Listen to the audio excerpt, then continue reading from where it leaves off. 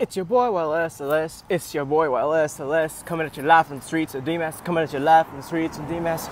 Radar, radar, girl. Yeah, I'm on your radar. All right, enough of that BS. It's your boy Yung Lion Savage.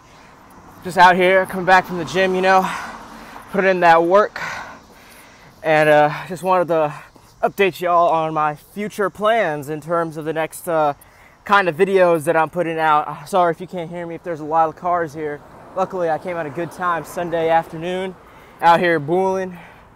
Uh, just gonna walk around, go around town, and jog back home. Trying to cut down on the weight. You smell me?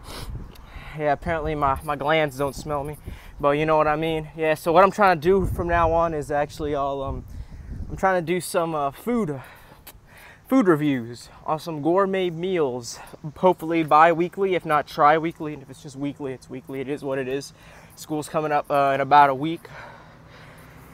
But uh, it's gonna be uh, hopefully a lot of fun. Uh, you know, Lions are playing next Saturday. Your boy's about to be there. From now on, we taking it easy. No new news to report. Uh, football. Physical therapy. These are the streets of DMAS, yo. It's uh, it's the cut. Yeah. Oh shit.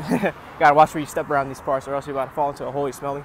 Uh, uh, all right. Anyways, uh, it's been your boy YLS, Yung Lion Savage. Uh, comment, rate, subscribe, you know all that jazz, and I will come back with y'all hopefully tomorrow with my first meal review.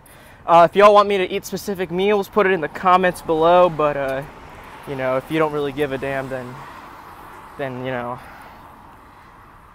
then one pride, I guess. I don't know, man. I'm out.